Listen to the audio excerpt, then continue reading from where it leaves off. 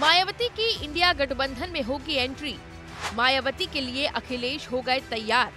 अखिलेश ने अपने नेताओं से बयान न देने की कही बात, जब सपा कार्यालय में समाजवादी पार्टी के मुखिया और यूपी के पूर्व मुख्यमंत्री अखिलेश यादव अपने नेताओं के साथ मीटिंग कर रहे थे, तब सीटों के साथ साथ जो मुद्दा सबसे ज़्यादा उठा, वो था मायावती का।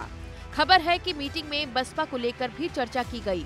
इंडिया गठबंधन में बीएसपी सुप्रीमो मायावती को शामिल करने को लेकर सपा अध्यक्ष अखिलेश यादव ने बड़ा बयान दिया है।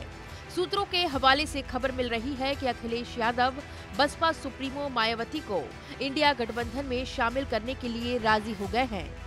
दरअसल लोकसभा चुनाव में सीटों के लेकर अखिलेश लखनऊ में लगातार मीटिंग कर रहे हैं।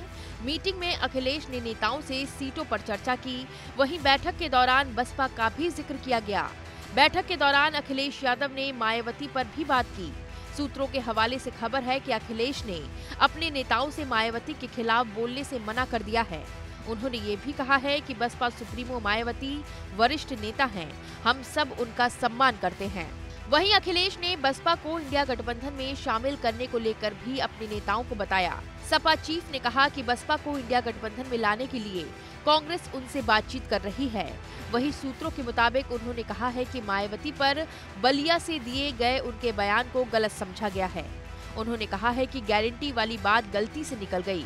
इसके पीछे उन्होंने तर्क दिया कि हर जगह मोदी की गारंटी का पोस्टर लगा है।